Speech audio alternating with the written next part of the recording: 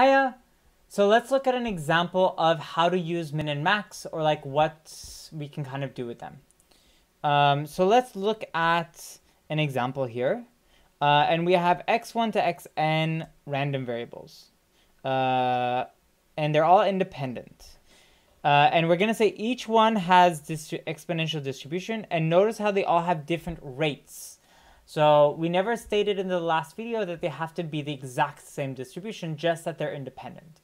So they all have different rates. And now the question becomes, well, what is the minimum? Okay, so first off, we need to calculate the, um, the antiderivative, in other words, the CDF of the xi. So here, if we have f of xi of x, uh, this is, remember, just e to lambda i, e to the minus lambda i of x. So this is the probability density function for the exponential distribution. So PDF of exponential distribution. All right, so in order to calculate the CDF,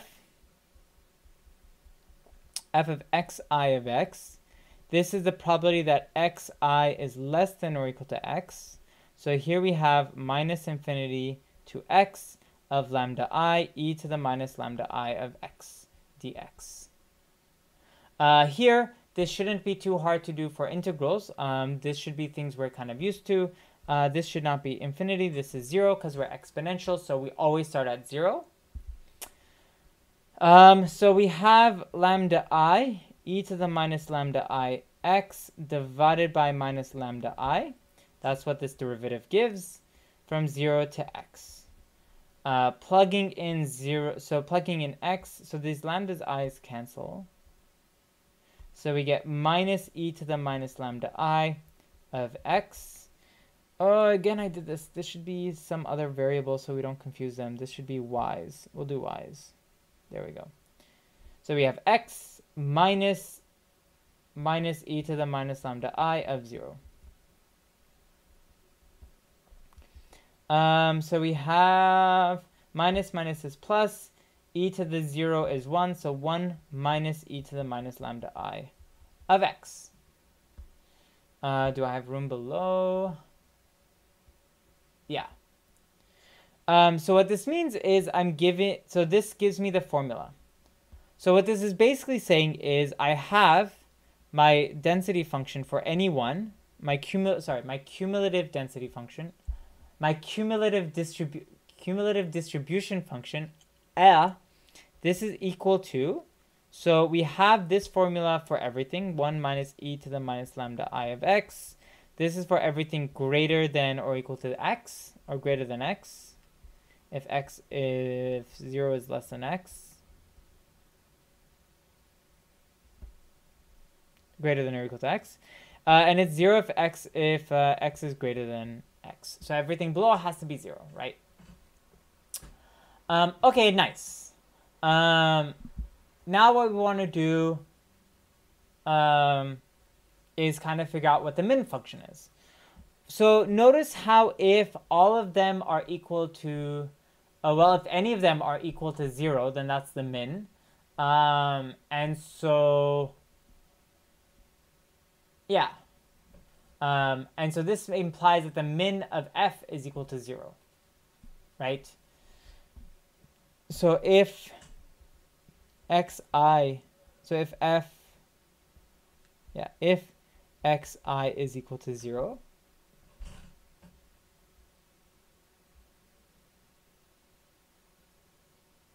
um, no, it's okay. We can kind of do, let's just do the normal way.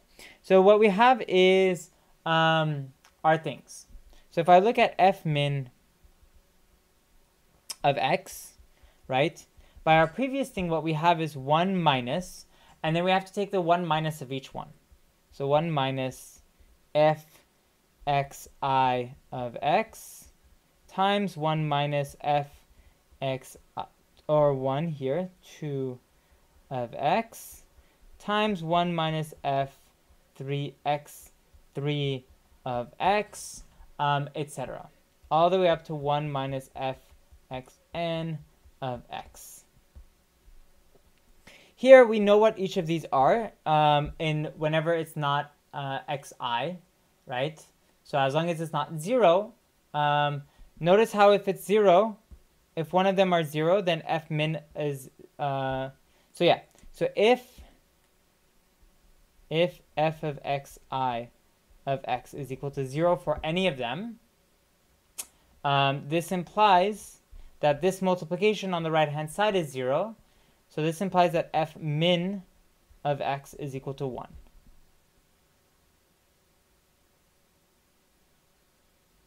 Uh, no. If they're all 0, if they're all 0, if all 0, then we get zeros and we get ones everywhere, so this becomes 0. Um, if not, um, then we're, if basically whenever we get a 0, right, this is just multiplying by 1, so we can kind of just ignore it. Uh, but supposing that they're not all, like they're not zeros, um, what we kind of get is we can kind of plug in our functions here, right? So we have 1 minus 1 minus e to the minus lambda 1 of x uh, 1 minus 1 minus e to the minus lambda 2. There's a lot of minuses. x and a lot of parentheses. Okay, we'll stop here. Dot, dot, dot. 1 minus 1 minus e to the minus lambda n, x, etc. So let me look at one of these on the side. 1 minus 1 minus e to the minus lambda 1 of x. This is just 1 minus 1 plus e to the minus lambda x.